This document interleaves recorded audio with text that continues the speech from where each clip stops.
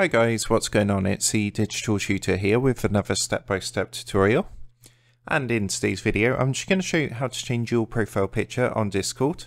So this is the most up-to-date method as of filming in 2021. But if an updated method does become available, I will link the video to that at the top of the page.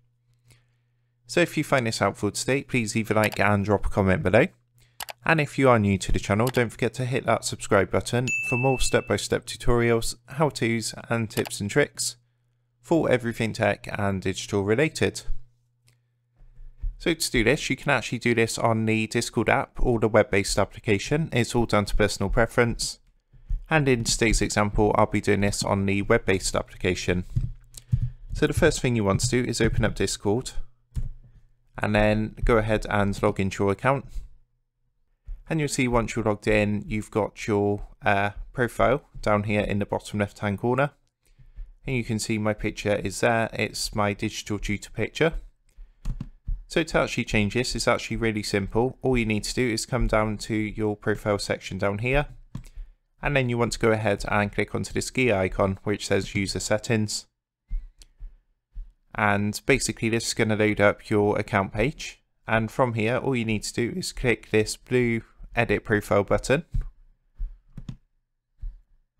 And basically from here, you want to, it's, it's actually called your avatar um, on here. So to actually change it, all you need to do is click the blue change avatar button here.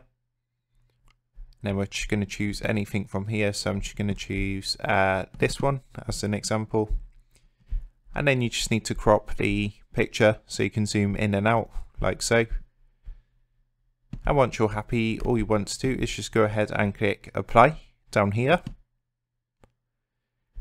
And then you can see that's actually changed my picture. And what you want to do is make sure you click this pop-up that comes up. You want to click this green save changes button.